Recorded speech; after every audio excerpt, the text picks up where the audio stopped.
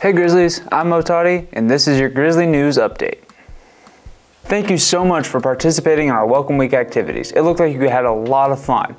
There will be more activities throughout the semester. We want to see you at all of those events. As the current SGA president, I will invite all of you to come to our Student Government Association meetings. They will be Wednesdays at 12:30 in Looney 108.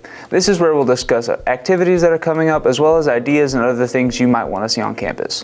Please make sure and attend these meetings and get your voice heard on campus. This Wednesday, September 4th at 5 p.m., all Grizzly fans are welcome to attend the Grizzly Club Fall Picnic Meal, where we will be introduced to all of our athletic teams.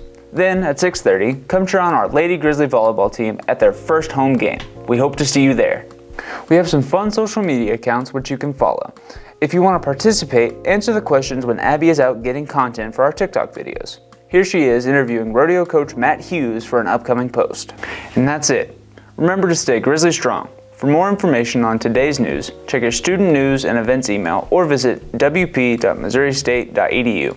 I'm Mo Totty. Come back next time for the next Grizzly News Update.